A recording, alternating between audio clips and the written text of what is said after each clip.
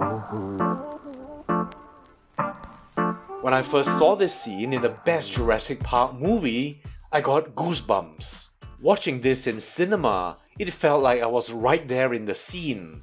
And that majestic music to top it off. Epic. It's a little dream of mine to one day, maybe if things ever become friendly to visitors again, to visit the US and see this incredible Barosaurus mount in the AMNH. The idea of rearing sauropods isn't new. Way back in one of my still favorite dinosaur books, Dr. Robert Bakker's Dinosaur Heresies, I saw this incredible artwork. And also this speculative suggestion. It makes sense that rearing would increase the feeding envelope even more dramatically for sauropods, but could they? There are many considerations, but to make this shorter, I'll touch on just two the cardiovascular and the biomechanical. Now, first, the problem of blood to the brain. Sauropods had very long necks. The heart would have to work very hard to pump the blood uphill. With rearing, the head could be 8 to 10 meters above the heart. Now, lifting fluid against gravity requires pressure, proportional to the height of the column of blood. Seymour and Lillywhite 2000 calculated that to perfuse the brain of a fully upright Barosaurus, the heart would need to generate arterial pressures of around 700 millimeters of mercury, which is roughly 7 times the normal human blood pressure. In scientific terms, that's crazy. To get this pressure, the heart would work extremely hard especially the left ventricle, which pumps oxygenated blood to the body and brain. As blood pressure increases, the ventricular wall must become dramatically thicker to prevent rupture and to keep wall stress within survivable limits. For a 40 ton sauropod, the left ventricle alone would need to weigh around 2 tons, which is about 5% of the total body mass devoted to just one chamber of the heart. Thick heart walls waste energy because much of the muscle's work goes into deforming the muscle itself and less to moving the blood. In addition, such high blood pressure would have damaged arterial tissue once the head was lowered. Collectively, based on just blood pressure alone, large sauropods couldn't have raised their necks vertically. The paper is really a good read and I'll reference it below. Now, methods have been proposed to address this. Some, like negative cranial pressures creating a siphon effect, are so incredibly suicidal I won't waste your time describing. Others have some merit, like the giraffe's rete mirabile, a dense mesh of small blood vessels near the brain which helps buffer sudden changes in pressure when the head moves up or down. Still, the absolute pressures involved in a rearing sauropod would have been extreme, so if true, would have required some modification. To date, blood pressure still hasn't been satisfactorily explained. Whether an animal can rear depends heavily on where its center of mass sits. In terms of lever mechanics, the hip we can take to be the fulcrum, the center of mass the load, and the effort would be the collective action of the hind limb and pelvic musculature. For less effort, the center of mass should be near the hips. Mallison 2011 built virtual models of Diplodocus and Brachiosaurus, now Giraffatitan, in order to investigate the potential rearing abilities of sauropods. The center of mass of Diplodocus is estimated to be close to the hip socket, which approximates the center of rotation. This makes prolonged rearing possible and doesn't require much effort to do it. The situation is similar to this forearm bar. If I hold it here, it's easier to move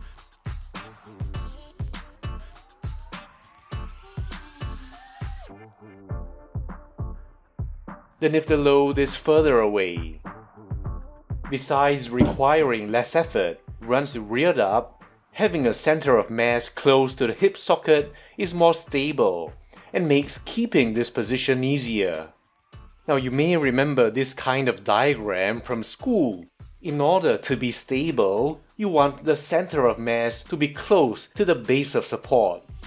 If it's too high up, it's easier to tip over. In this model sequence, you see at each point how close the center of mass is to the hip joint and the additional height gained at each point. Combined with its long massive tail acting as a prop, was also very stable. I think you can see that intuitively by looking at this model and seeing how much tail mass the Diplodocus has can make it a lot easier to act as a useful counterbalance. Giraffatitan, on the other hand, was found to have a center of mass further forward due to a reduced tail and larger forelimbs compared to other sauropods. Not only is more effort required to raise the front off the ground, once in rearing mode, the center of mass high above the hip socket would make it more unstable, risking a fall and even fatal injury.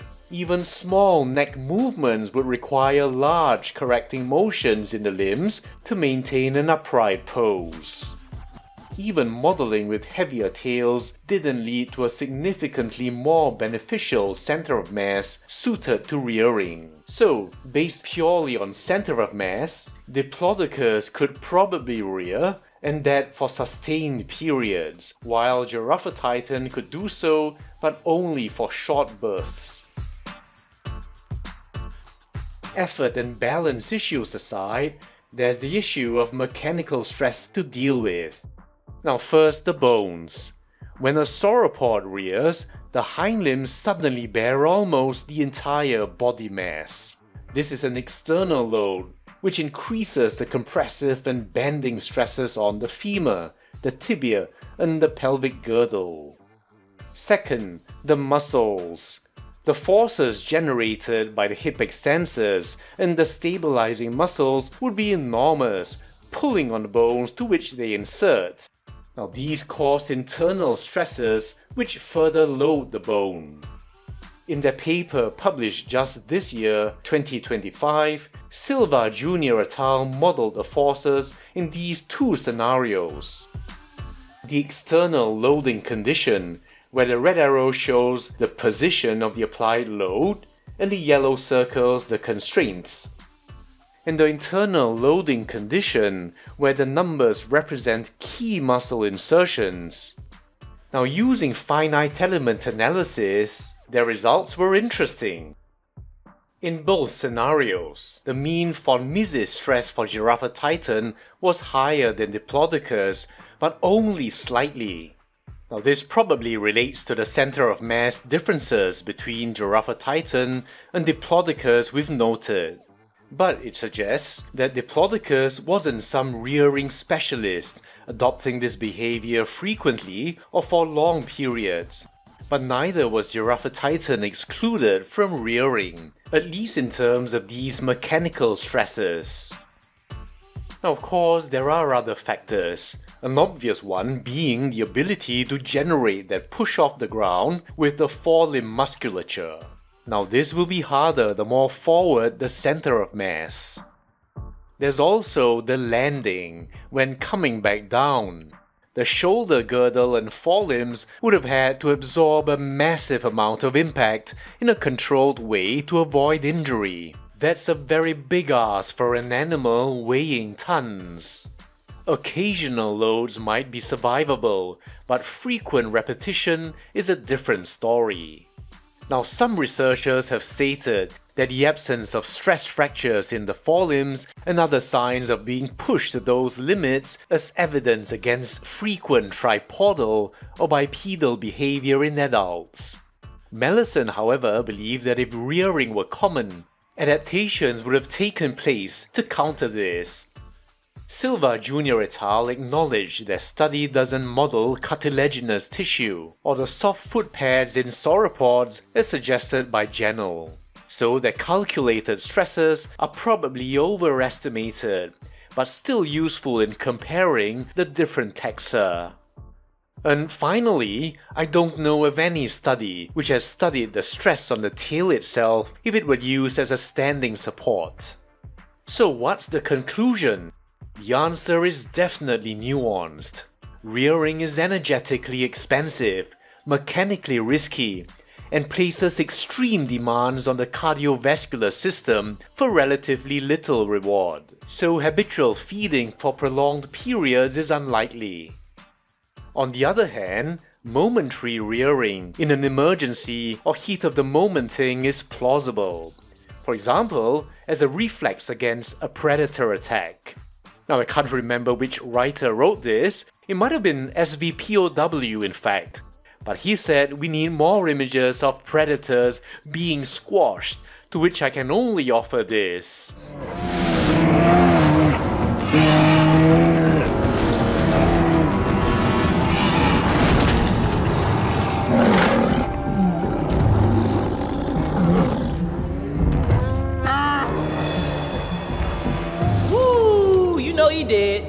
Perhaps a moment of desperation during famine as in our diorama with the tree stripped bare, and our Sauroposeidon desperately looking, or having just removed the last leaf.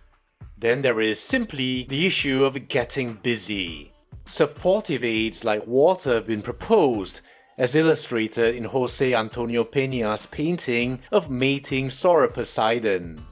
This still involves some rearing, and there's been thick speculation on how mating might happen without it. Creative fantasies like cloacal kissing and using prehensile and impressively long tools for the job exist, but these ideas seem to strain biomechanical decency. The mysteries of non-rearing mating resists firm penetration, and until hard data emerges, it seems that sauropods must, at least occasionally, have been able to rear. So, comparisons. First, we of course compare them to each other. In terms of color, you see how the stripe is a more conservative one, and certainly looks very believable. It's not plain, and has these faint stripes dorsally, and for a large dinosaur model, I'd like it to have some subtle touches. The blue is of course a lot more flowery, with plenty of complex layering of colors.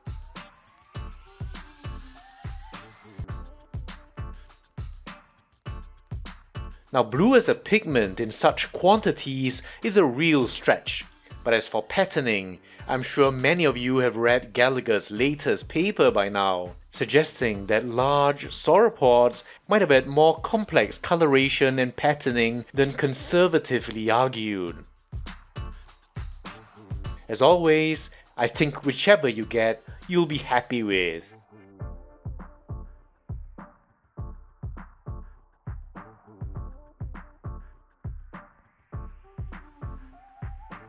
The next most obvious one would be the standing Nanmu Watchman Brachiosaurus. Now this is a model that came out 3 years ago. Time sure flies.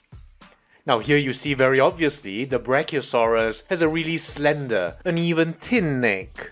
Our Sauroposeidon model has a really thick neck and a more tapered torso. This makes the Nanmu Brachiosaurus less front-heavy, with a friendlier center of mass for rearing than our Sauroposeidon.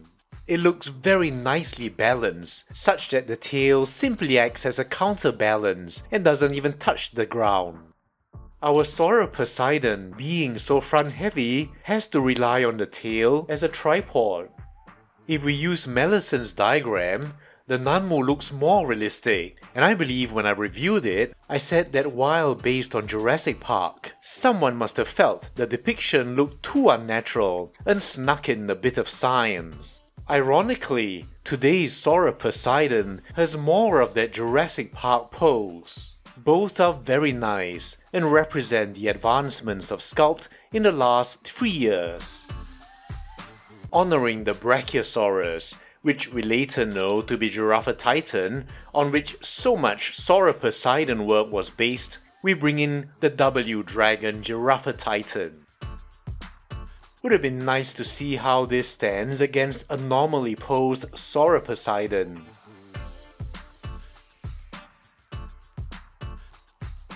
And for Haolonggu's closest equivalent, here's the Haolonggu green Brachiosaurus.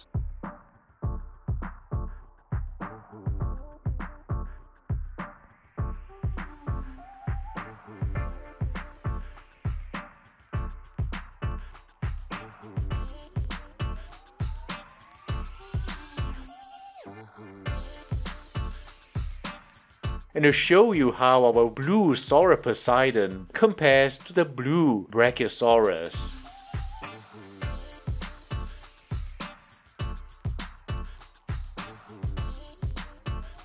And looking at the other big sauropod often mentioned in articles on rearing, we have here the Haolonggu brown Diplodocus. You can see intuitively how this would have been a bit more balanced while bipedally standing. And we should look at the Haolonggu blue Diplodocus against today's blue Sauroposeidon. You see immediately what a divine paint application we have in today's blue. No superfluous squiggles or chalk marks. In fact, let's bring back the blue Brachiosaurus so you can see how the three blues compare.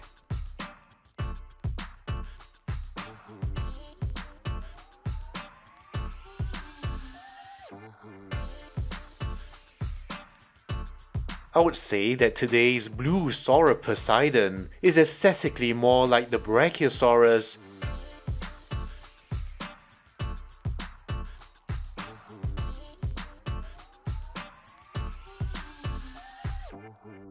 than the Diplodocus.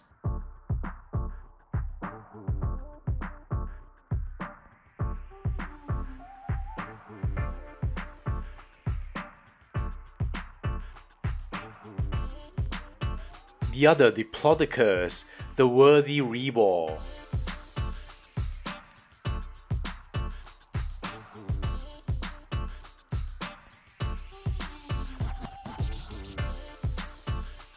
Starting to get massive, here's the Haolonggu Alamosaurus.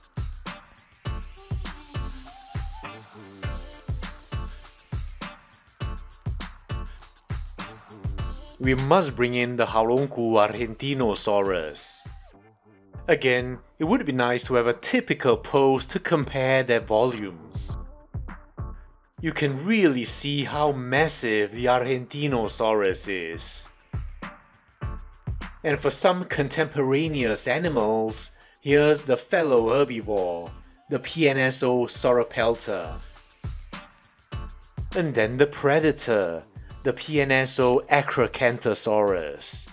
Now here's one reason why our Sauroposeidon might be rearing, and possibly soon to be pancaked. The eye lines don't match, and it would be nice if Haolonggu's inevitable Acrocanthosaurus built this into the pose. Of course, our standard size comparators, the PNSO Wilson and the PNSO Cameron. So that's it for the Haolonggu Sauroposeidon. What a way to close off the year from Haolonggu. Haolonggu has been a godsend sauropods are my favorite clade. As you can tell, I have plenty to say when I review them. They've gifted us so much that it can become a blur after a while, but I'd say that this one stands literally heads and shoulders above any crowd. Given the unlikelihood of another huge 1 to 35 rearing sauropod, I'll say that this one, especially the blue, is a strong contender for a spot on your sauropod shelf. As always, let me know what you think, and I'll see you in the next video.